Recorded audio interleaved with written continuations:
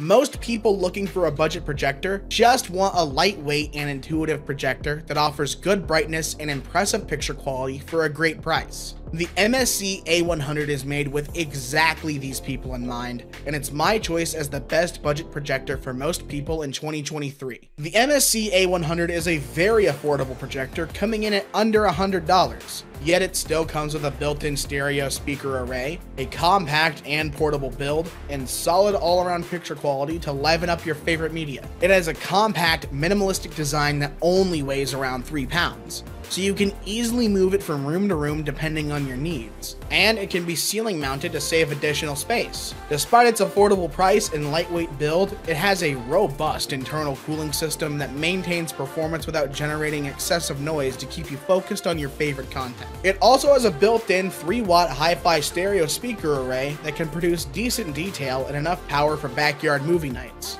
Though the sound quality isn't the best and you might want to pair it with a Bluetooth speaker. But that's the case for pretty much every projector in this price range.